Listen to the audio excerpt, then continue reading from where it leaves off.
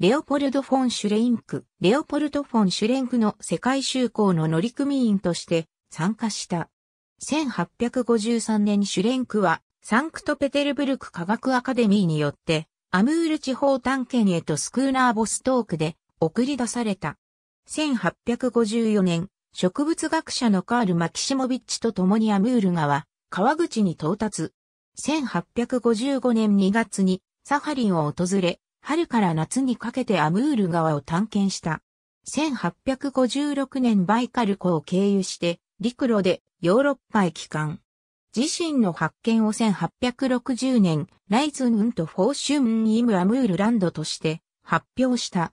彼はロシア地理学会でコンスタンチンメダルを授与された。晩年のシュレンクは研究対象をロシアの原住民族へと向けた。1879年11月10日、サンクトペテルブルクのピョートル大帝、記念人類学民族史学博物館の館長に任命された。多くの動物種名がシュレンクにちなんで名付けられている。ウィキメディアコモンズには、レオポルト・フォン・シュレンクに関するカテゴリーがあります。ありがとうございます。